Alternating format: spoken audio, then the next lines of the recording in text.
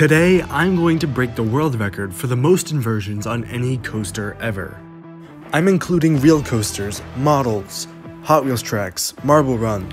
Scratch that, we're not we're not doing Marble Runs because that record's like 100. So besides Marble Runs, we are beating all of those records. So uh, let's take a look at the current record holder. This is our record holder for real life coasters. This is the Smiler located at Alton Towers in the UK. This coaster flips upside down 14 times, which is also the same number as the world record Hot Wheels. However, this is not the highest one, and this is not what I'll have to beat. This is what I'll have to beat. This roller coaster flips you upside down 20 times, built out of the same building system I will be using on this project as well.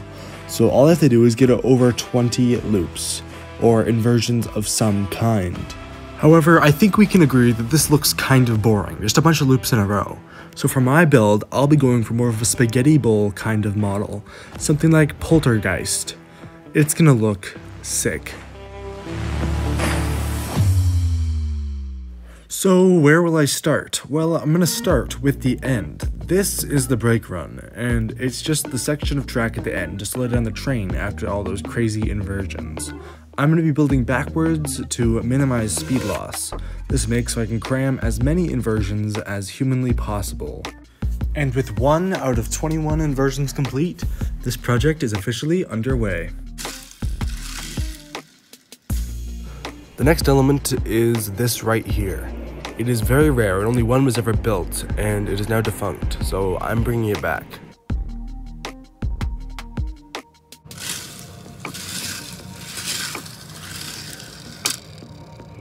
And now that I've finished three inversions, we are officially one seventh of the way done.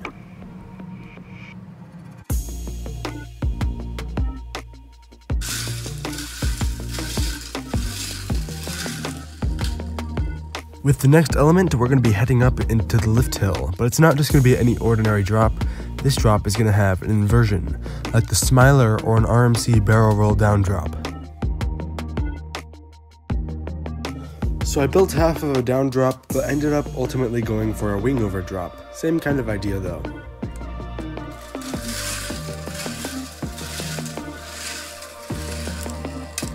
Up next is one of four lift hills that'll be used to propel the car through the whole layout.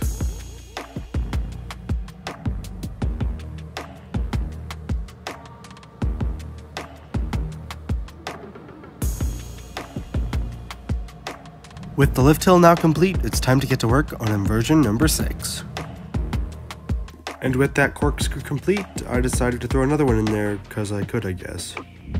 And instead of going element by element, why don't I just jump to the halfway point and we'll see what I did.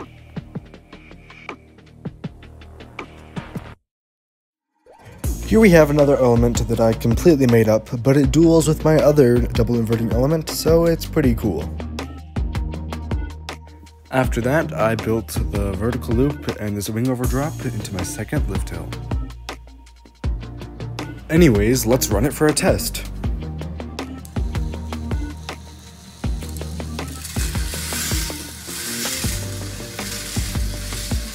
And with that, we are more than halfway complete at 11 inversions. 10 more to go. After another hour of work, I am now tied with the Smiler at Alton Towers at 14 inversions. One more, and if this was a real roller coaster, it would have the world record.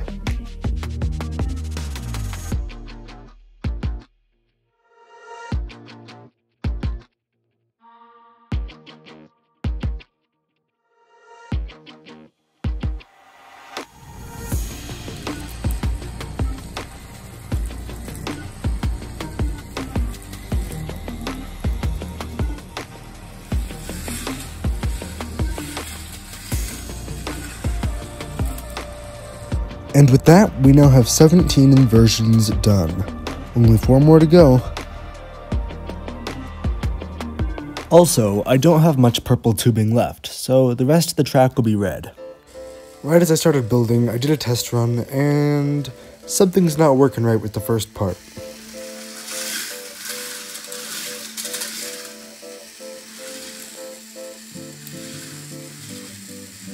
Listening back to the video, you can hear a clanking sound on this element, so I inspected it, didn't see anything, and I rolled the train on it and also didn't see anything. I ran it a couple more times and the same thing kept happening, so I decided I'm going to beef up the wing over drop. It's the part with the most g-force, so it should be the part to help the most. After stiffening up the track, it's time to give it a test and see if the problem is fixed.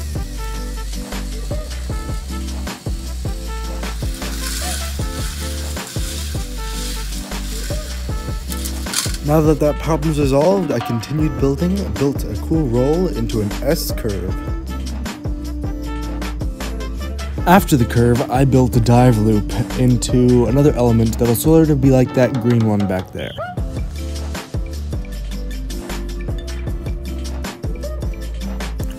After so many weeks of building, we only have one more inversion left, and it's just going to curve up and dive down like this. It's gonna look pretty cool, so let's build the last inversion.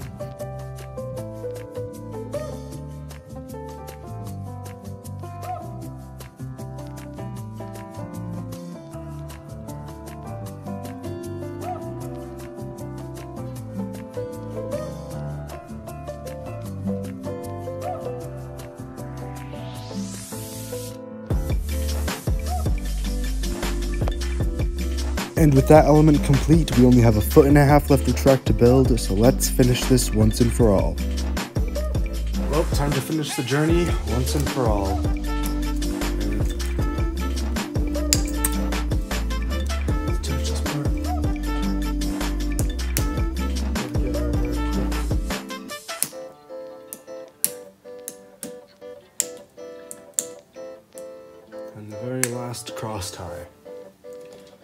The project is in place. Cut this up.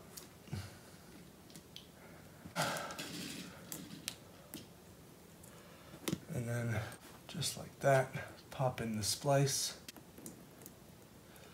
put that together, and just like that, the project is done.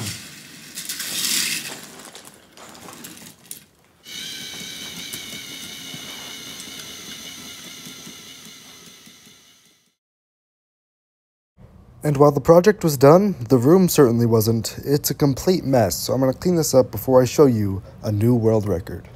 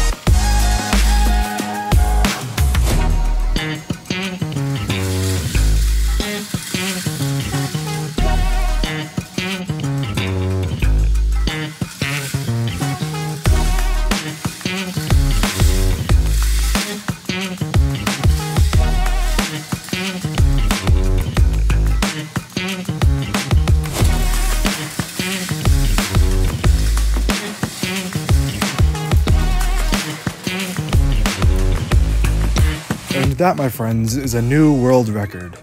Um, if you would, please like the video. I put a lot of effort, so yeah. Thanks, bye.